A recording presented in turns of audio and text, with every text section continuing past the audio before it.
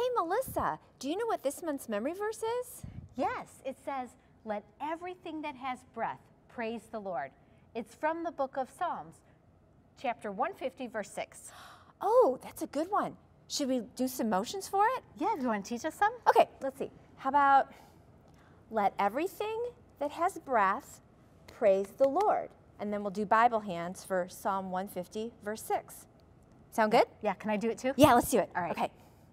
Let everything that has breath praise the Lord.